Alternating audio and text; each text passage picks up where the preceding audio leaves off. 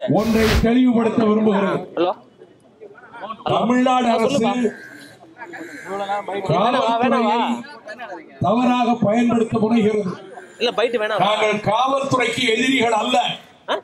இங்க வந்திருக்கக்கூடிய deputy commissioner joint commissioner assistant commissioner inspector sub inspector போலீஸ்காரர்கள் எல்லோருக்கும் வந்துட்டுமா? உங்கள் பிள்ளைகள் வாழ்வு நாசமாகி போகும். இந்த நீட் தேர்வை அனுமதிப்போமானா? நம்முடைய பிள்ளைகள் மருத்துவக் கல்லூரிகளிலே இனி படிக்க முடியாது.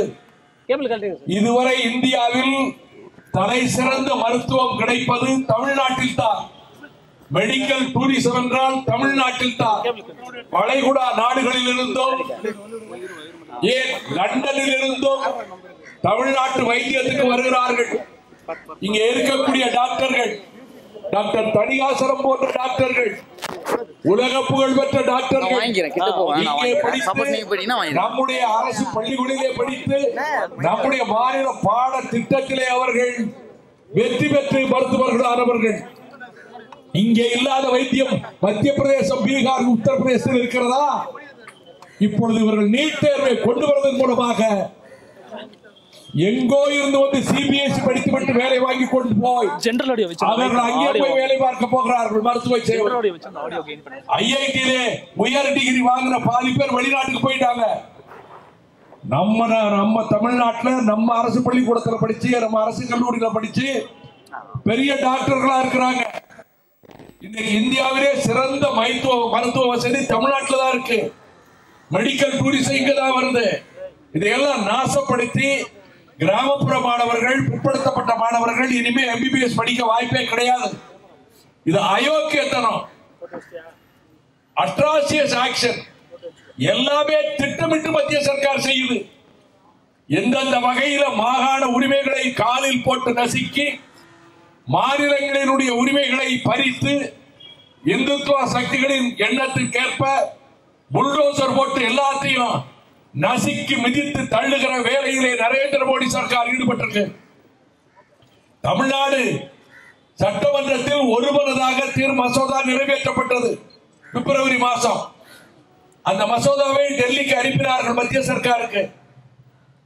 நிர்மலா சீதாராமன் என்கின்ற ஒரு மந்திரி சொல்கிறார் அப்படி ஒரு மசோதா எங்க இருக்குன்னு தெரியாது. அவ்வளவு ஆணவம். நரேந்திர மோடி அரசு கொடுக்கிற ஆணவம். இதுவரைக்கும் பதினைஞ்சு தடவை காவடி தூக்கியாச்சு எடப்பாடி கோஷ்டி. இப்பயும் போறாங்க. ஒரு மருத்துவ அமைச்சர் இருக்காரு சுகாதார அமைச்சர். ரெண்டு நாட்களில் கிளியர் ஆகிவிடும். ரெண்டு நாட்களில் தெளிவாகிவிடும். என்னையா தெளிவாகும் பதினஞ்சு தடவை காவடி எடுத்தீங்களே என்ன காரணம்? பிரசிடென்ட் எலெக்ஷன்ல வைஸ் பிரசிடென்ட் எலெக்ஷன்ல நீங்க நீட் தேர்வை நாங்கள் தமிழ்நாடு சட்டமன்றத்தில் நிறைவேற்றிய மசோதாவை ஏற்றுக்கொண்டு தமிழ்நாட்டுக்கு நீட் தேர்வில் இருந்து விலக்கு அளிக்காவிடில் நாங்கள் ஓட்டு போட மாட்டோம் என்று சொல்லியிருந்தா உங்களுக்கு மானம் ரோசம் சூடு சொரணை இருக்கிறது அர்த்தம்.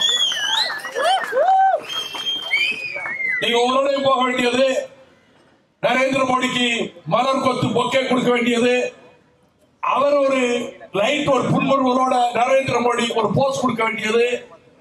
இவங்க ஒரு புன்முறுவலோட ஒரு போஸ் கொடுக்க வேண்டியது. போட்டோ எடுத்து போட வேண்டியது. என்ன அவமானமா இருக்கு?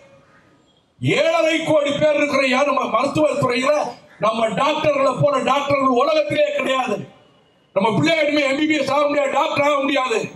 நான் தமிழ்நாட்டோட அவ்வளவு மாணவர்களின் எதிர்காலத்துக்காக நாங்க போராடுறோம். போலீஸ் அதிகாரிகளே உங்க பிள்ளைகளுக்காகவும் நாங்க போராடுறோம். நீங்க சர்க்கார் உத்தரவு போட்டிருக்கு அதனால நீங்க தடை போட்டீங்க. உங்களை நான் குறை சொல்ல மாட்டேன். கமிஷனரை குறை சொல்ல மாட்டேன். முதலமைச்சரை குறை சொல்றேன். முதலமைச்சர் மிஸ்டர் எடப்பாடி பழனிசாமியை குறை சொல்றேன். எதுக்கு இன்னைக்கு ஆர்ப்பாட்டத்துக்கு எல்லாம் தடை? பதினைஞ்சாம் தேதி சுதந்திரம். வெள்ளக்காரன் நீ வெளியே போகலையா? வெள்ளக்காரன் இங்க இருக்கிறானா? எதுக்கு இன்னைக்கு தடை? சுதந்திர தினம் பதினைஞ்சாம் தேதி. அதுக்கு முன்னாடியே எதிர்க்கட்சிகள் சுதந்திரத்தை எல்லாம் பத்தாம் தேதியை பறிச்சிருவீங்களா? நாங்க மிஸ்ஸாவை பார்த்தவங்க தடாவை பார்த்தவங்க கொடாவை பார்த்தவங்க. ஆகையினால ஒண்ணு சொல்றேன். நான் வந்து இவ்வளவு நாள் நான் வந்து உங்களை விமர்சிக்கல. நான் பொறுமையா பார்த்துக்கிட்டு இருந்தேன். நெஞ்சு கொதிச்சு என்னுடைய மனசு எரிமலை ஆனதுனால அதை வர்றேன் உலக புகழ்பெற்ற டாக்டர்கள் தமிழ்நாட்டில் நம்ம ஊர் பள்ளிக்கூடத்தில் காலேஜில் படித்து அரசு பள்ளியில் படித்து அரசு கல்லூரியில் படித்து அவங்க நம்ம பாடத்திட்டத்தில் படித்து வந்தவங்க. இவன் வந்து சிபிஎஸ்சியில் ரெண்டு சதவீதம் படிக்கிறான். தொண்ணூத்தெட்டு சதவீதம் நம்ம மாநில பாடத்திட்டத்தில் படிக்கிறாங்க. இந்த முறையின் மூலமாக எல்லா வடமாகாணத்துக்காரங்க வருவாங்க இல்ல மேட்டுக்குடியில பெரிய கோடீஸ்வர வீட்டு பிள்ளை டாக்டர் ஆவாங்க. இந்த திட்டம் ரொம்ப அநீதியான திட்டம். என்ன செய்ய முடியுங்கிற ஆணவம் நரேந்திர மோடிக்கு. எல்லாம் தமிழ்நாடு சர்க்காரே அப்படி கைக்குள்ள அடக்கி வச்சிருக்காங்க. ஆடுனா ஆடுவாங்க எந்திரினா எந்திரிப்பாங்க உட்காருனா உட்காருவாங்க. போன் தோப்பகரணம்னா எண்ணி கோப்பாங்க அப்படின்னு நினைக்கிறாங்க. தமிழ்நாடு அமைச்சரவை மட்டும் தமிழ்நாடு அல்ல மிஸ்டர் மோடி. அதிமுக காரங்க மட்டும் தமிழ்நாடு இல்ல. அதை தாண்டி ஒரு தமிழ்நாடு இருக்கு. இப்படி காங்கிரஸ் இப்ப இது மாதிரி இல்ல. உங்களை விட வருவா காங்கிரஸ் ஆட்சியில இருந்து அறுபத்தி அஞ்சுல. அப்ப எதிர்கட்சிகளே கிடையாது. ஏக சக்கராதிபதியா காங்கிரஸ் எல்லா மாகாணத்தையும் ஆண்டுகிட்டு இருந்தது. எல்லா மாகாணத்தையும். இப்ப நீங்க பாதி மாகாணத்துல கிடையாது. அப்பொழுது வந்த இந்திய ராணுவத்தை மாணவர்கள் எதிர்த்து நின்றார்கள். தெரிஞ்சுக்குங்க. எந்திர துப்பாக்கியோடு வந்த ராணுவத்தை எதிர்த்து மார்பு காட்டி மடிந்தார்கள். அந்த ஜீன்ஸ் எங்களுக்கு இருக்குல்ல? இந்த மாதிரி பையங்களுக்கு? அந்த ரத்தம் இருக்குல்ல? அதை மறந்துடாதீங்க. இப்ப ரெண்டு நாள் என்ன செய்ய போறான்னு தெரியாது. நாங்க தமிழ்நாட்டுக்கு விலக்கு கொடுக்க மாட்டோம். வச்சதான் சட்டம்னா இதே போக்குல நீங்க நீட்ட திணிப்போம். கதிராமங்கலத்தில் நாங்கள் எண்ணெய் கிணறு அமைப்போம். நெடுவாசல் அமைப்போம். காவிரி டெல்டாவை அழிப்போம். தமிழ்நாட்டு ஒரு வழி பண்ணுவோம்னா நான் இன்னைக்கு எச்சரிக்கிறேன் இந்த போக்கு ஒருமைப்பாட்டுக்கு வேட்டு வைக்கும். இந்த மாதிரி பிள்ளைகள் வளரும் போது எனக்கு எதுக்குடா இந்தியான்னு கேட்பான். இந்த பையன் மாதிரி வளரும் போது இப்போ நான் கேட்கல. இது நான் பத்திரிகையாளர்களுக்காக சொல்றேன். இப்பொழுது முற்றுகை போராட்டம் சுங்க இலாக்கா அலுவலகத்தை முற்றுகை போராட்டம். நான் ஒழுங்கா அது முற்றுகை போராட்டம் நடத்துற மைண்ட்ல இல்லை. ஆர்ப்பாட்டம்னு அறிவிச்சேன் இவங்க தடைன்னாங்க. அப்படியா? அப்படின்னா நாங்க போட்டோம் வன்முறையில போக மாட்டோம். வன்முறையில போக மாட்டோம். நாங்க கள்ளக்கொண்டு எரிய மாட்டோம். உள்ள நுழைஞ்சு கலவரம் பண்ண மாட்டோம். கட்டுப்பாடா நடப்போம். காவல்துறை அதிகாரிகளே கான்ஸ்டபிள்களே உங்க பிள்ளைகளுக்காகத்தான் நாங்க போராடுறோம். உங்க பிள்ளைகளுக்கு சேர்த்து தான் போராடுறோம். ஆனால் உங்க கடமை சர்க்கார் சொன்னதுக்கா நீங்க க- தடுக்கணும் கைது செய்யணும் உங்க கடமை. உங்களுக்கு எங்களுக்கு விரோதம் கிடையாது.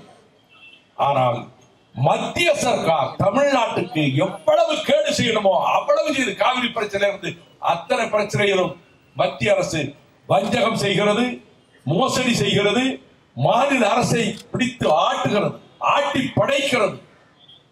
மாநில அரசை தாண்டி கோடிக்கணக்கான மக்களும் லட்சோப லட்சம் உயிர் கொண்ட இளைஞர்களும் இருக்கிறார்கள் என்பதை நரேந்திர மோடி அரசு உணர்கிற காலம் தொலைவிலே இல்லை என்பதை நான் தெரிவித்துக் கொள்கிறேன்.